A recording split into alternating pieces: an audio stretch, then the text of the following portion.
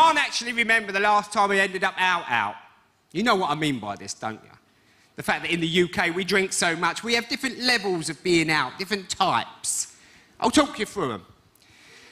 You pop out just to go to the shops, you've got to get a couple of bits, and you bump into a friend who says, Should we have a quick drink? And you go, Yeah, only a quick one, though, because I'm very busy.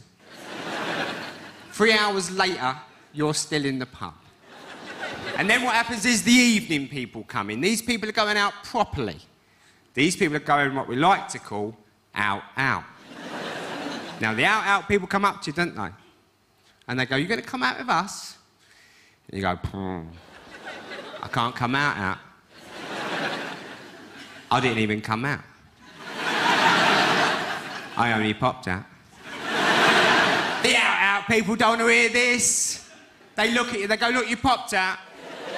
You've ended up out. You may as well come out out. if you've got just the right amount of alcohol in your system, you look at them, you go, you know what? I'm coming out out.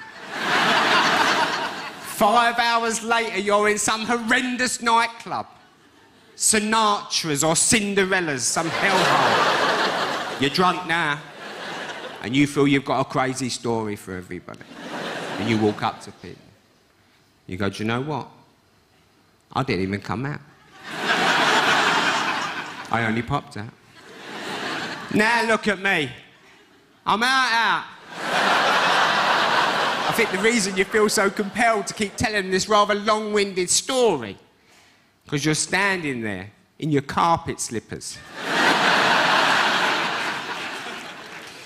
with a pint of milk and a cut loaf.